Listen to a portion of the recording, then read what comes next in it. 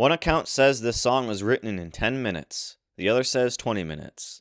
Well, either or is certainly fast, but what a lot of people don't know is that only two verses were originally written the first and the third as it ends up on the record. The middle verse was added a month later. Dylan wasn't all that keen on this added verse. He said, I try to write the song when it comes, I try to get it all. At first, he put the verse at the end, then switched it to the middle. Shortly after the song got published, before it was recorded, a high school student found the sheet music and claimed it as his own. It took this kid 11 years to admit that he only did this to impress people. Dylan wasn't even the first one to perform his own song to a large crowd. That would be Gil Turner, who Dylan took it to. Turner played it, and the people were stunned, in a good way. They clapped, and Dylan was just seen smiling and laughing. This song propelled Dylan into success. It's the first song on his sophomore breakout album and let him be the songwriter he set out to be, and not just another performer that he was seen as at the time. Peter, Paul, and Mary covered it to commercial success, netting Dylan over 40 grand in publishing rights. Some say the music is spiritual. Dylan was all over the place with this saying, I didn't really know if that song was good or bad. It just felt right. I needed to sing it in that language. And later saying, I've always seen it and heard it that way. It's just taken me, I just did it on my acoustical guitar when I recorded it, which didn't really make it sound spiritual. But the feeling, the idea, was always, you know, that's where it was coming from. Written in the key of D, Dylan also plays the harmonica in D. The capo on the 7th fret creates a back and forth with C and G chords. His use of the upper register of the guitar, along with alternating the bass notes, makes his lone guitar sometimes sound like two. The simple strumming pattern makes the words easy to hear. His voice is raw and unneeded to be amazing with the expressions he's given off. Easy enough, the song was recorded in three takes, with the last take being used as the master. The lyrics are nothing but questions, and Dylan never lays down a real answer. They are filled with metaphors. I personally like verse 2 a lot. It's more concrete and topical to the situation outside the studio. How many years can some people exist before they're allowed to be free?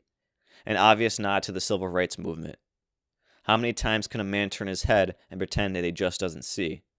Again, attacking leaders mostly who have gone to war for no good reasons, in Dylan's eyes, and who have let all these attacks on people happen and always pretend they just don't see it. The third verse goes back to these symbols talking about really seeing the sky and what it stands for, with more questions at the end of the verse. How many ears must one man have before he can hear the people cry? How many deaths will it take till he knows that too many people have died? It seems like Dylan is shaming the government asking, How dare they? Wondering if it's all a numbers game to them. Oh, one more death? Okay, pack it up. And it all comes back to the unresolved chorus. The answer, my friend, is blowing in the wind. The answer is blowing in the wind. Dylan leaves us with this chorus saying it's possible the answer is there. He goes on to say, There ain't much I can say about this song, except the answer is blowing in the wind. It ain't no book or movie or TV show or discussion group, man. It's in the wind. I still say it's in the wind, and just like a restless piece of paper, it's got to come down some. But the only trouble is, is that no one picks up the answer when it comes down, so not too many people get to see it and know, and then it flies away. Easy enough, right? The people weren't satisfied. He had to preface this song before playing it with a dreadful like speech during his early concert days, and then stopped playing it altogether for about eight years. The song was the catalyst that started the voice of the generation and prophet name calling from the masses. Altogether, this song is somewhat short and to the point. Right off the bat, it's just filled with questions upon questions. Imagery is meant to imitate life, and the answer is so close in front of you that you can't even get to it. Albeit giving Dylan problems with the press as usual at first. And I believe this song gave him the confidence to break through and become the songwriter that he set out to be and eventually did become. Let's end it all with a quote from Dylan himself, summing up the whole thing. This here ain't a protest song or anything like that because I don't write protest songs. I'm just writing it as something to be said for somebody by somebody. That about does it for this one. Hope you enjoyed the deep dive into this song and learned something. If you did like it, leave a like, obviously. Come on now. If you haven't subscribed already, please consider it. And leave a comment for the next song that we should do.